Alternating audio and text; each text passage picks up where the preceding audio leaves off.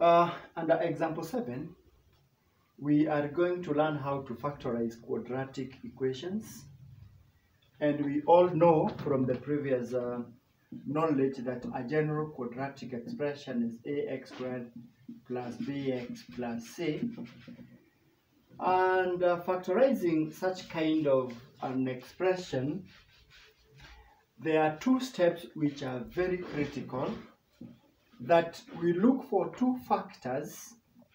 When we multiply them they will give us AC when we add them they will give us a B. So you can see what our B is whatever our B is and the product of A and C is AC so we're looking for two factors such that when you multiply them out they will give you the product of AC and when you add them out they will give you a sum equals to B. And uh, we will go straight to example 7 part A whereby we are having x squared minus 5x minus 6. And in all aspects, this one qualifies to be a quadratic expression due to the fact that it has the highest power of 2. And therefore, our AC, our A is 1, C is negative 6. So our B and our AC, our B is minus 5, you can see it here. And our AC is 1 times negative 6, which is negative 6. And the two questions are, which two numbers do we multiply together and they will give us a negative 6. And when we add them up, they will give us uh, a negative 5. Two numbers, when you multiply them out, they will give us a negative 6. And when we add them out, they will give us a negative 5. Hint, one of the number has to have positive sign and the other one has to has uh, has to have a negative sign. And of course, due to the fact that we are going to be left with negative 5 when we add them out, it means that the bigger number has a negative sign. That means we might look at negative 6 plus 1 and negative 6 times 1. And this one gives us, of course, a minus 5, and this one gives us a negative 6. So after we identify the two terms, negative 6 and a positive 1, we pick them up and we use them to substitute the middle term or the term b. We use them to substitute the middle term. And we write it this way, x squared minus 6x plus 1x minus 6. Having that, why do we substitute the middle term with the two terms?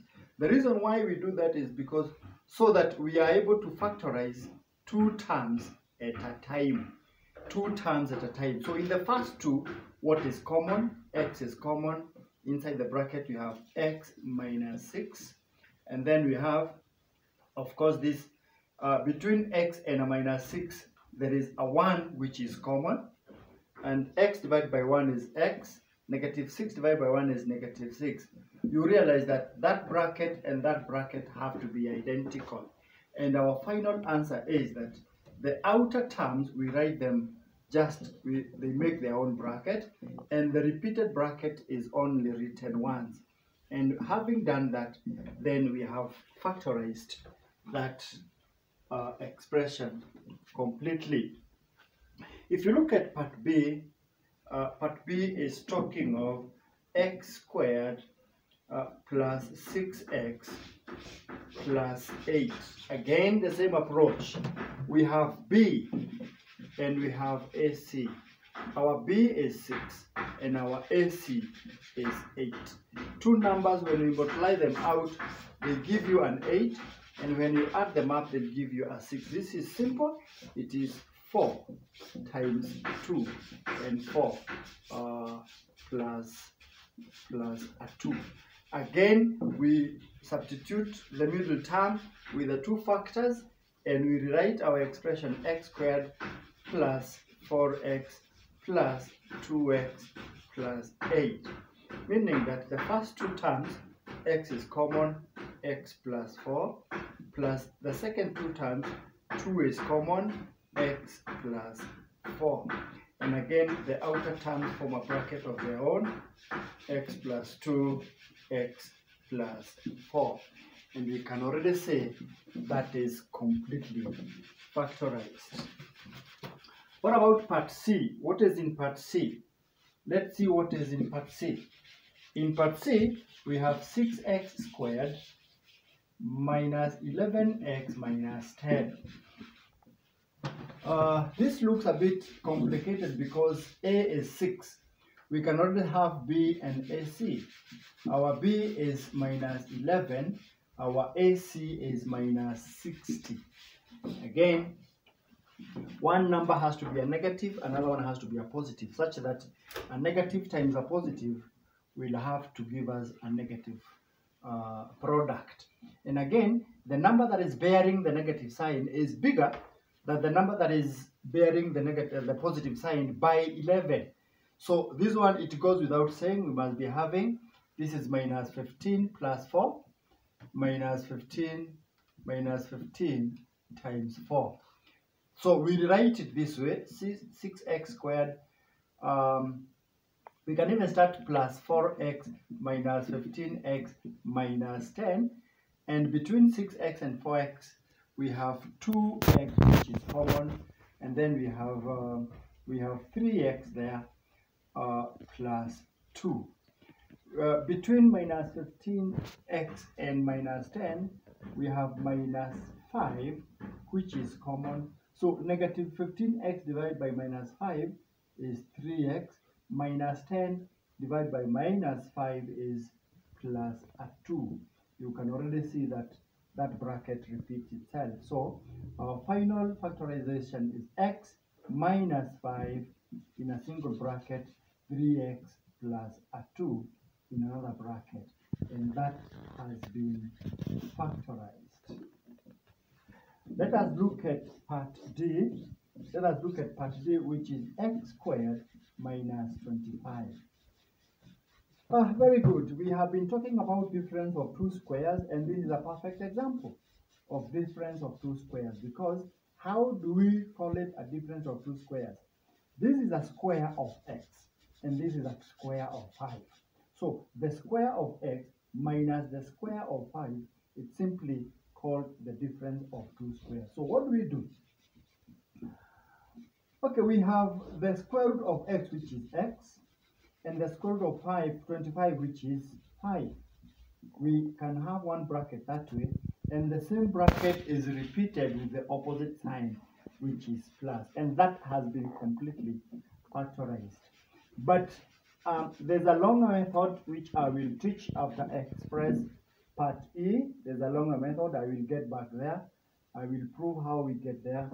But let us first of all look at part E, which is 4x squared, 4x squared minus 9y squared, 4x squared minus 9. Again, this is a difference of two squares because 4 has a square root, x squared has a square root, 9 has a square root, and y squared has a square root. Again, let's get the square root of the first term, which is 2x minus the square root of the second term, which is 3y. Again, repeat the same thing, 2x plus 3y, now with a different sign. I want to get back here and show how, I can even use it, but I want to get back here and show how that one is realized, x squared minus 25. How do we get the two brackets and why do we call it difference between two squares? Of course, if you wish to write this one, it's lacking, it's just lacking the middle term. It's lacking the bx. So we can rewrite it inserting the middle term with which is very empty. So x squared plus 0x minus 25. With that, we can have our b there and our ac there. So our b is 0, as you can see. Our ac is 1 times negative 5 minus 25. So which two numbers do we multiply? They give us 25 and we add, they give us uh, a 0. Of course, those two numbers are equal, only that they are holding an, an, uh, an opposite sign. So my, minus 5 plus 5, minus 5 times 5. Those are the those are the factors. So we substitute the middle term like we've been doing from part A all the way to part C, and we are going to have x squared minus 5x plus 5x minus 25. So x is common in the first two, so x minus 5 plus what is common in the last two, 5 is common in the last two. Inside the bracket we have x minus 5. And this gives us the outer terms make a bracket of their own, uh, x plus 5, and then the repeated bracket is written just one. So you realize now what we have here are the two brackets which we had here. But this is now the longer version so that you don't ask how, how comes we directly get to these two brackets. You can see it after the longer version. So please take care of difference of two squares every other time you come across it. All right?